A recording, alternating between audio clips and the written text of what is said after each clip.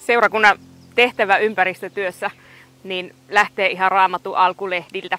Siellä ihmistä kehotetaan viljelemään ja varjelemaan luontoa, pitämään siitä huolta. Yksi kristityn ihmisen perusarvoista on kohtuullisuus. Ennemmin oltaisiin ekoja kuin ökyjä.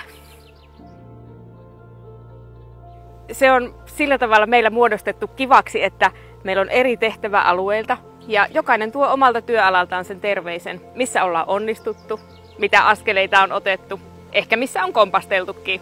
Sitten me sparrataan toisiamme ja jaetaan sitä tietoa.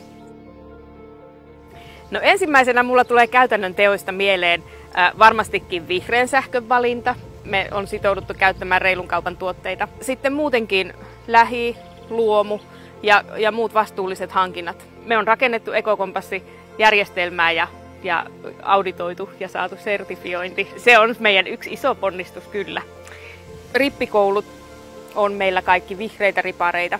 Eli Suomen Evlut-kirkko, kirkkohallitus on antanut tällaiset kriteeristöt ja ohjeet, että mitä ainakin täytyy tehdä, että rippikoulu on riittävän vihreä. Varkauden seurakunnan hautausmaalla lajitellaan jätteitä, eli meillä on, on jokaisella hautausmaalla niin vähintään yksi piste tai kolme. Sitten meillä on täällä vähän on hyttyshotellia ja linnunpönttöjä. Luonnon monimuotoisuutta vaalimme sillä, että perustamme tänne kukkakedon tuonne yhteen kuivaan paikkaan, niin sitten saadaan sen vielä lisää perhosia ja pölyttäjiä sitten alueelle. Myöskin iloa hautausmaalla kävijöille. Tuossa meillä on maa on kolme kompostiaumaa. Ensimmäinen auma on tämän vuoden jätteelle, mitä tuodaan heinäjäte, nurmijäte ja kaikki maatuva. Ja seuraavana vuonna se siirretään seuraavaan aumaan. Ja kakkosauma menee kolmosaumaan ja kolmonen ajetaan tuonne meidän multapihalle odottamaan seulaa ja siitä myös saadaan valmista multaa.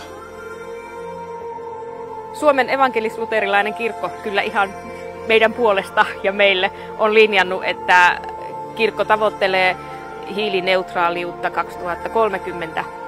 Kirkolla on oma kirkon ympäristödiplomi, ympäristöjärjestelmä. Me ollaan Varkaudessa tätä työtä edistämässä nyt ekokompassiseurakuntana, mutta jatkossa myös kirkon ympäristödiplomin ohjaamana.